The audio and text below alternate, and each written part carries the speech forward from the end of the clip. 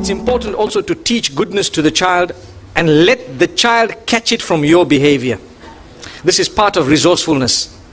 We've spoke, touched on it a little bit, but let the child catch it from your behavior. You know, how you treat your spouse, your child will treat his or her spouse in most cases. Some cases maybe not, but in most cases.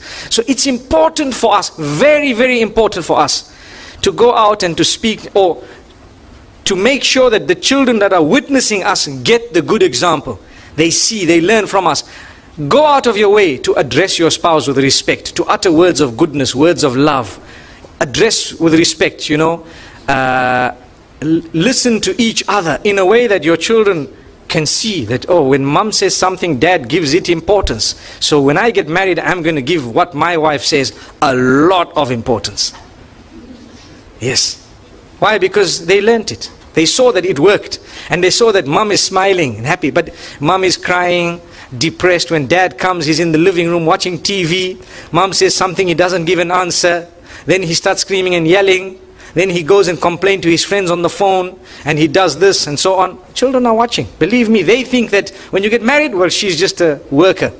She's here to cook your food and she's here for your mother to take control of.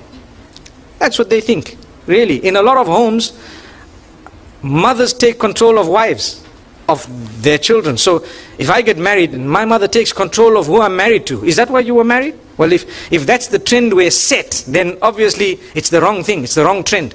We should have a good relation, but it must not be that. And we, we, we need to have a habit. I have a habit. I explain to my mom how much I love her. And I tell her, look, mom, this is a line. Here's a beautiful line. Please don't cross it. There you are. I love you so much. You nobody can take your place. But here's a line you don't cross, my beloved mom. These are my wives. You want to say something? Tell it to me. I'll tell them. I can say it in a better way. It happens, it works. And sometimes when, when, there, when there may be a misunderstanding, and misunderstandings do happen, we have to take control. And the children are watching us. They know what's happening. They can see. So dad comes in, you have to be a powerful figure with love, with love. But you have to be someone who cannot be trampled over. Affection. Your mother must never feel that you don't love her. No, you do. But she must know that, you know what, you cannot come and boss around my wife. Because that's my wife. And that doesn't mean I don't love you. I really do love you. Maybe you cannot word it how I'm wording it to you now. But in your own way, you need to say things. Because parenting and a successful parent can only be a successful parent when they have minimized their own issues.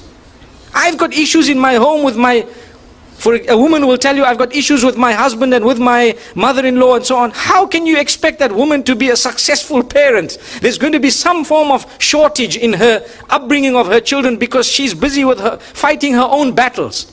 So to create that beautiful environment is the duty of the man. And this is why you cannot impose on your spouse to live in an oppressive house where people are trampling all over your spouse. You need to do something positive about it because that is how you will help the next generation. Otherwise, all we're doing is we just completing the circle and let it carry on and on and on. And for generations to come, people are going to be oppressing each other because we couldn't stand up in a beautiful way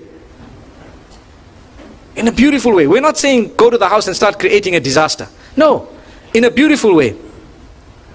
So it's important for us to know that inshallah and I know I've touched on it it's a it's a very it's a topic that might affect a lot of people and people might uh, you know appreciate what was said but at the same time I hope and I pray that less people less people are being affected by it as time passes because it is us who can make a difference. You know, when your children are married, give them their space, give them a little bit of their freedom.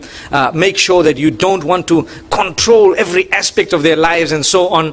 Uh, you have already you should have already given them the skills to uh, manage their own lives by the will of Allah subhanahu wa ta'ala.